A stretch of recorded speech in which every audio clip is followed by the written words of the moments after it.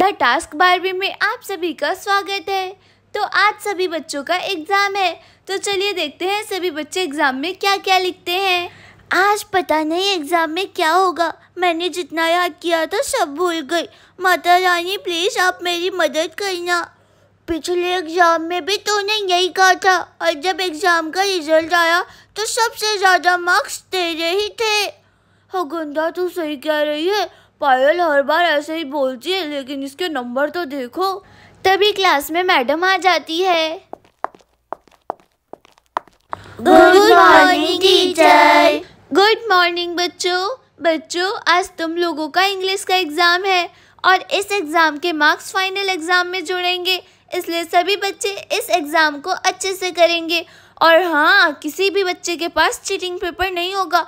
अगर मिला तो उसे क्लास के बाहर भेज दूँगी समझे? और नंबर भी नहीं चढ़ेंगे तुम्हारे। ठीक है मैडम लेकिन मेरे पास कोई चीटिंग पेपर नहीं है। मैडम मेरे पास भी चीटिंग पेपर नहीं है आप चेक कर सकते हो। मेरे पास भी नहीं है मैडम मैं तो कभी चीटिंग करती ही नहीं हूँ।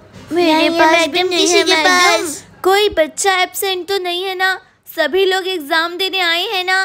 हाँ मैडम सभी बच्चे आए हैं एग्ज़ाम देने चुपचाप सब लोग बैठो, मैं अभी पेपर बांट रही हूँ।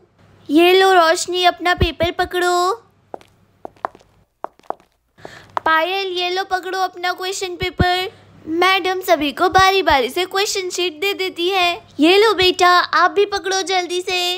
मैडम जल्दी से सभी बच्चों को क्वेश्चन पेपर डिस्ट्रीब्यूट कर देती है। बच्चों सबसे ऊपर अपना नाम और रोल नंबर लिखो और आज की तारीख लिख देना। सबको अपने अपने रोल नंबर याद है ना? मैं तो मैं तो भूल गई मेरा रोल नंबर क्या है?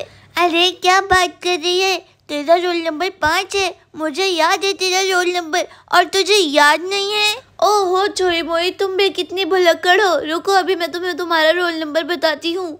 नंबर वन पे है चंचल टू पे है भावना थ्री पे है गुंडा फोर पे है पायल और फाइव पे है छोई मोई।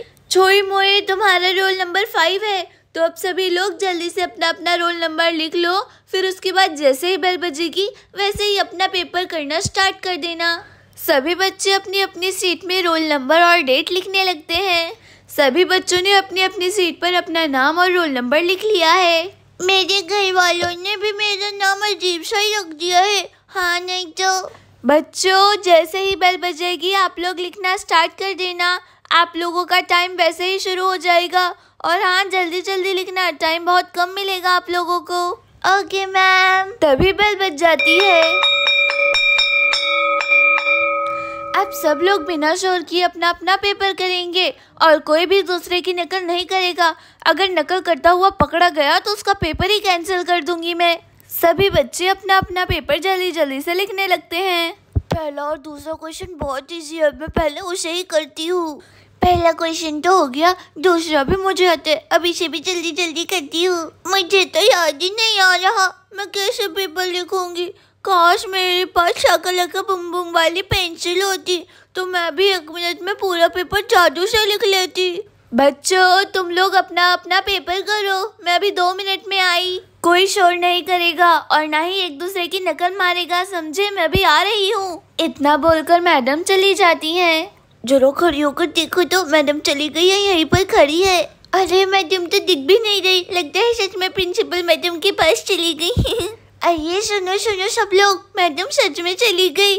अरे, सब लोग जल्दी से एक दूसरे में से देखकर पेपर कर लो और बाद में मुझे भी पेपर दिखा देना, ठीक है? हगंडा के बोलते ही सभी बच्चे दो दो पेड़ में बैठ जाते हैं। मैं तो पायल के पास जा रही हूँ उसे तो सब आता है। रूपाली रूपाली आधा तुझे आता है और आधा मुझे आता है। चल दोनों मिलकर कर लेते हैं। अरे मैं भी जाकर तीशा का पेपर देख लेती हूँ। हगंडा के कहते ही सभी लोग एक दूसरे की नकल करने लगते हैं। अरे पायल क्वेश्चन नंबर फाइव का आंसर क्या है? जल्दी से बता दो मुझे प्लीज़ मैं लिख तो रही हूँ तो भी मेरी में से जल्दी से देख कर लिख ले। मेरे आठ क्वेश्चन पूरे हो गए मज़ा आ गया।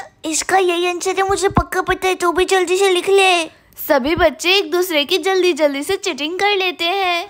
अरे जल्दी करो मैडम आने वाली है थोड़ी देर हो गई है मैम को जाए हुए। एक बार फिर देख लेती हूँ मैडम को कहीं यहाँ पर ना आ रही हो। ओ माय गॉड मैडम आ रही है अरे मैडम आ रही है। अरे सुनो, सभी लोग जल्दी जल्दी से अपनी सीट पर बैठो मैम आ गई है। अरे पागल भाग, अपनी सीट पर फंसवाएगी क्या? मैडम आ चुकी हैं। हे भगवान मैडम कहीं देख ना ले, मैं जल्दी जल्दी चलती हूँ। ओह, मेरे दो क्वेश्चन और रह गए। मैडम आ गए अब कैसे करूँ? सभी बच्चे जल्दी जल्दी से अपनी सीट पर वैसे ही बैठ जाते हैं, जैसे पहले बैठी थी। तभी मैडम क्लास के अंदर आ जाती है। बच्चों प्रिंसिपल मैडम ने कहा है कि एग्ज़ाम होने के बाद छुट्टी नहीं होगी। मतलब मैडम? मतलब कि तुम लोगों की क्लास तो होगी और नेक्स्ट एग्ज़ाम की तैयारी करवाई जाएगी आप सभी को।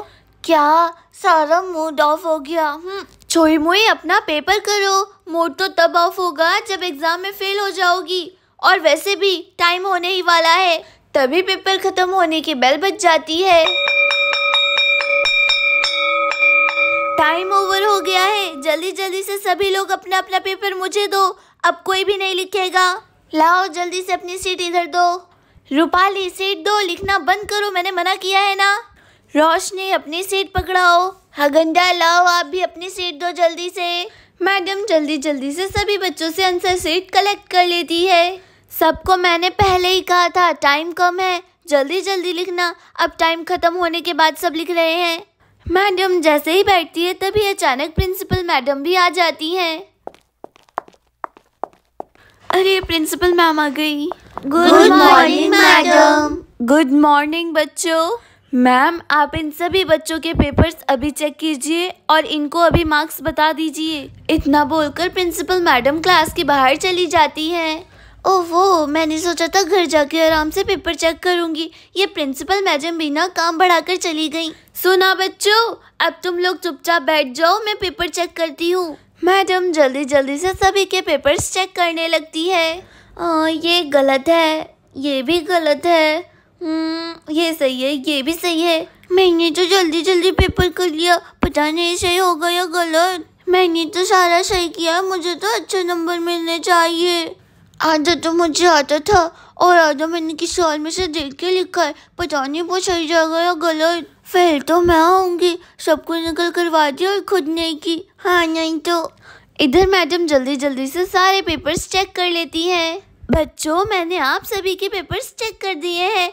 इस बार की टॉपर है पायल उसे भी इसमें से बीस मार्क्स मिले हैं। ये मज़ा आ गया। मेरा तो सारा सही निकला। तूने पक्का नकल किए तभी तेरे बीच में से बीस आए, समझी? सभी बच्चे पायल के लिए क्लैपिंग करेंगे। सबसे कम मार्क्स गंडा माई के हैं। सोलह नंबर और बाकी सभी बच्चों के अठारह मार्क्स है। ये मैडम मैं पास हूँ ना बताओ बताओ मैं पास हूँ ना। हाँ हाँ गंडा, तुम पास हो, लेकिन नंबर सिक्सटीन है। अरे मैं पास हो गई मैं पास हो गई ये हाँ हाँ मैं पास हो गई। चिंग टपाक दम दम मैं पास हो गई। हाँ गंदा पागल हो गई है कम मार्क्स आने पर भी कोई डांस करता है क्या? हम्म, हाँ क्योंकि मैंने तुम लोगों की तरह नकल थोड़ी ना की है मैंने खुद से मेहनत करके इतने नंबर लाए समझे? देखा दोस्तों मैंने नकल नहीं की और मेरी तरह आप भी कभी नकल मत करना। इन सबने नकल की है। मैंने तो जानबूझकर नकल करने के लिए बोला, ताकि सबकी ईमानदारी देख सकूँ। लेकिन आपकी हगंदा ने बिल्कुल भी नकल नहीं की। पूरा पेपर खुद से किया है हगंदा ने। दोस्तों, वीडियो को लाइक करें, चैनल को सब्सक्राइब करना ना भूलें। Thanks for watching this video. Bye bye.